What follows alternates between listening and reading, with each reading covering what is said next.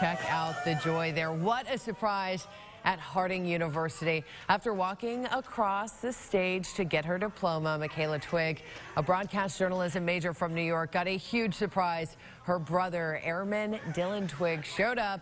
He's actually been stationed in Japan for the past two years, so look at those emotions. I can't even imagine how she's feeling. Michaela had no idea that he would actually make it in time for her graduation. What a special moment for that family.